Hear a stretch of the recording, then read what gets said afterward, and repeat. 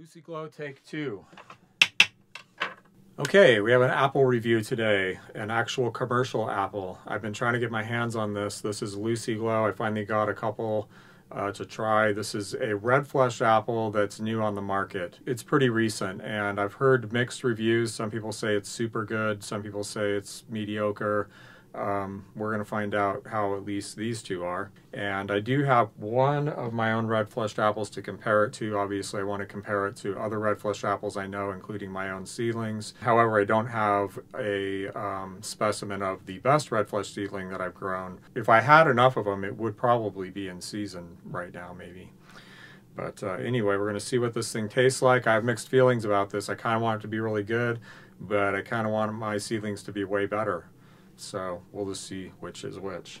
I picked through the bin of these apples and they were really rough looking. Uh, very, very uneven surfaces, like all kinds of bumps and, and weird looking stuff. Uh, they just did not look very good. And I just kind of picked out two of the best ones that had the most of this pink blush because on the surface right off, this looks a lot like pink pearl or grenadine, where this red color is actually the, the pink flesh showing through the translucent skin. That means that the more pink there is, the more red flesh there's going to be. And usually if there's more red flesh development, you get more red fleshed flavor. So yeah, it took me a while to pick these out. They were really quite uh, ugly actually. And they were pretty cheap. They were like a dollar fifty a pound. I thought they would be a lot more, um, but that could be because they were so ugly too. They're also pretty dented up and stuff. So it kind of looks like this has, you know, fairly poor red flesh development for what it probably could be.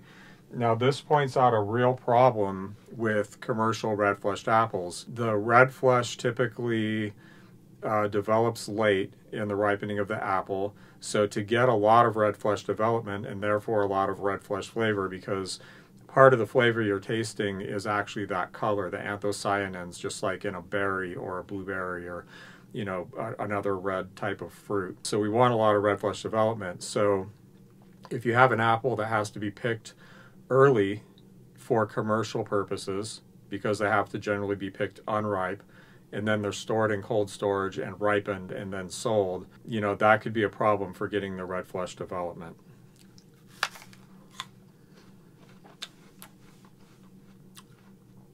Yeah, that's pretty disappointing. What is that flavor? This first specimen is fairly disappointing. You know, in terms of like aiming for a modern, super crisp, uh, juicy texture, it falls a little short. It's uh, fairly coarse grained. It's it's kind of juicy, not particularly super crisp. Uh, it also tastes like bananas more than it tastes like berries. I'm getting a little bit of red flesh flavor, but then like banana and like some spice flavor like cinnamon or something. It's a very odd mix of flavors. Let's taste this other one. Okay, so in this one we have a little bit better red flesh development.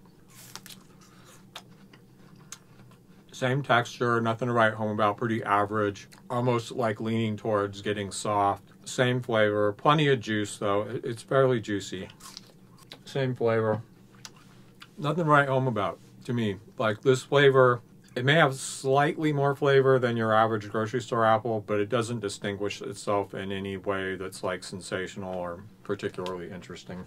Okay, so let's try Appaloosa since I have one. I think this will be in decent condition, but you know, it could be on the way out. I've had this sitting on the counter for quite a while. Uh, level of red flesh development, maybe a little less than those. Um, I have seen this apple be pink all the way through just solid deep pink, uh, but it didn't do that this year. I don't think this year's a very good year for red flesh development here.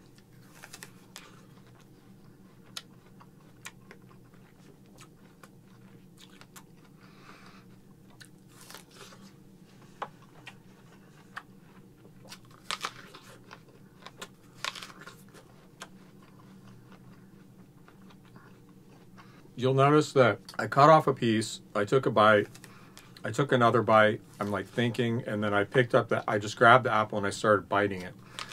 That's a good sign. That means that I want to eat this apple. That was really not something I was thinking through. It just it was just instinct, you know. this I wouldn't say this is a particularly good specimen of Appaloosa.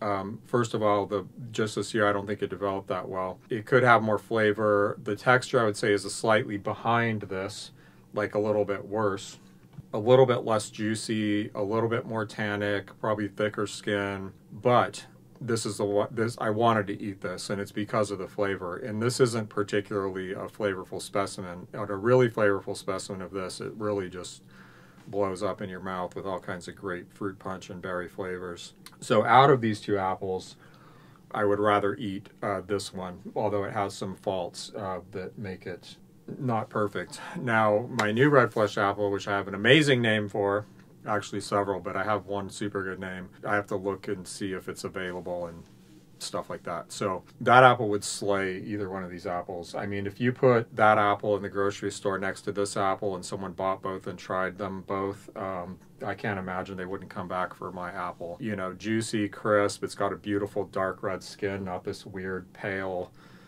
yellow, not very good looking thing with a little bit of pink showing through. Lots of red flesh flavor. Uh, it's just a good apple, a better apple than either one of these. So that's interesting. Uh, kind of happy about that, I have to say. I just, just. In coming years, there's going to be a lot more red flesh apples coming onto the market. Hopefully, they'll be better than this one. This was supposed, I think this is Airlie's Red Flesh and Honeycrisp. Now, Airlie's Red Flesh may be from the Etter line. Um, I'm not sure, but this really looks a lot like Grenadine or uh, Pink Pearl.